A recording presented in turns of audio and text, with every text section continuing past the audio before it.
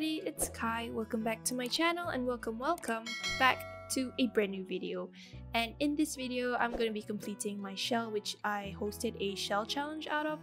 Um, and it was due on the 31st of March. Unfortunately, I haven't got any time to go through the shells that have been completed and uploaded but I will soon this weekend because I just got a job and I have been quite busy, like just adapting and figuring things out before I want to actually focus back on The Sims. So the video will be up soon. I actually planned to upload my own shell challenge only after the results have come out but I didn't manage to do so because like I said I am quite busy now. It's really sad for me. I feel sad but it's something I have to do for my career. Um, and yeah, I'm looking forward to tour the shells that you guys completed. Um, and the video will be up on Thursday. So today is the Tuesday by the time you see this video. In fact, it is Tuesday right now, which is on the 6th of April. So I guess it's a coincidence. But anyways, you can see that I already started to add some foundation and roofing for this build. And for the theme of this build, I didn't really have a theme, but I wanted to make kind of like an eco house um, but I don't think it turned out very eco in the end. It's slightly eco, but it's not so eco. Um, and we are going to be furnishing this shell, um, and it is in I think Willow Creek where the Suburbans are. And I'm really happy how with how this uh, house turned out to be, and I can imagine a couple of Sims living here. Um, the only thing about this house is that it has only one bedroom because of the small space upstairs. I decided to turn that small space into a bedroom but for the rest of the house it's just the common areas and I quite like how it turned out because it is quite like glassy but at the same time a bit modern and I also managed to use a lot of items from the eco lifestyle pack which I I, I really like but I don't really use it in my builds I usually use island living stuff and also city living and also a lot of base game items I think but for this build I decided to go like a lot of the items that I used here are from the eco lifestyle pack and I really hope you guys will like it. I really liked how it turned out because it's it looks super pretty. I think I think for the interior I like the kitchen the most for this build because it kind of looks rustic um, and I tried to apply the eco theme throughout the whole build. But anyways, for the landscaping, you can see that I added in this debug fence that is quite sharp. I'm not sure either it's from base game or city living or something like that, but I think it's from base game and I think this is my first time using them because I don't know, I wanted to explore a lot more items in the debug menu. So I found this fence which is which looks more suitable for an apartment I can imagine. But I decided to use it in here because it's green and it looks kind of like eco. I imagine that the couple that lives here they basically like did their own home built it and planned everything to use like eco items such as a wallpaper. I'm not sure what what the item I mean the material is made of for the wallpaper but it is eco. And i also managed to put in a lot of these machinery that came with the eco lifestyle pack specifically for the backyard because i imagine that the backyard is where the eco couple basically does their like research or something like that. And they're just very very like keen or like very interested in eco lifestyle as the pack says. And i imagine also that they are not very like like up to date with like trends and stuff so they decided to go eco eco-friendly and eco. But anyways we are moving on to the interior and for this section over here which is on the left of the shell oh yeah speaking of the shell before i talk further about this build i when i uploaded the shell to the gallery to be completed by you guys it was I didn't realize that I had put walls in there because from the outside when I was building the shell I just basically put in boxes around the like boxes around boxes basically. Um, but I didn't realize that I put the walls. I mean I probably realized but I just forgot. Um, but I uploaded the shell with the interior walls and I forgot to mention that you can actually remove them because um, I think my friend Simply Tara like she after she did her video on the shell and she also completed the shell she basically mentioned in the video that um basically i i didn't allow like the inner walls to be removed and it was a mistake for me i think because i meant that you cannot move the exterior walls but yeah i didn't realize that i put in walls for the inside so i'm really sorry for that. If you already furnished it with the walls inside i think yeah um i haven't seen the uh, final product of your shells yet but i think a lot of them have the walls in it so i'm really sorry for that and i should have realized earlier. But anyways back to this build you can see that we are decorating the living room right now but for the color scheme of the whole build it is quite brown from the inside and out except for the kitchen. I decided to make the kitchen a green color scheme and i think i really like the kitchen the most because I've never done a green kitchen before. I think I might have, but it is not so like bold. But for this build, I decided to go with the green color scheme for the kitchen with the counters from the Cool Kitchen stuff pack because I thought that the modern twist made the kitchen look a bit more livelier. And I also think that the patterns that came with the counters are very, very simple and suited this theme. Um, but I, like I said, I don't like have a specific theme for it. I just imagine a couple of eco-friendly Sims living here.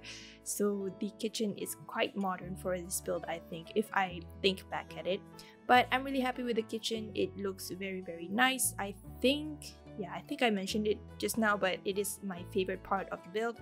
And I decided to add in a stairs inside the kitchen so that your sims can access the top part which is the bedroom and this is because I didn't want to fit in a staircase simply because this if I were to put in a staircase the scare the staircase the staircase would take up a lot of uh, space.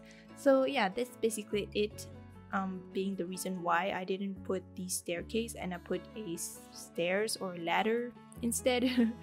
um, but I really like the kitchen, like I said, because of all the decorations. I think for this kitchen, the decorations, I kept it at minimal. I didn't really clutter it up a lot, but I did put a lot of wall decorations. Um, and just simple clutter like that basket over there that came with the eco lifestyle and also the main clutter which I usually use which are chili jars and also salt and pepper and stuff like that. Um, and I also added in that leaf shape structure from the eco lifestyle simply because I thought that the color of the leaf structure suited perfectly and also contrasted perfectly with the green wallpaper and I really like the look of it.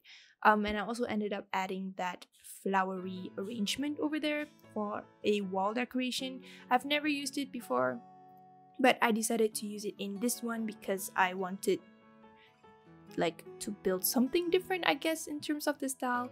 Um, but i did have a lot of struggle like figuring things out on what to put in the corners or like there was too much space for the kitchen for me basically.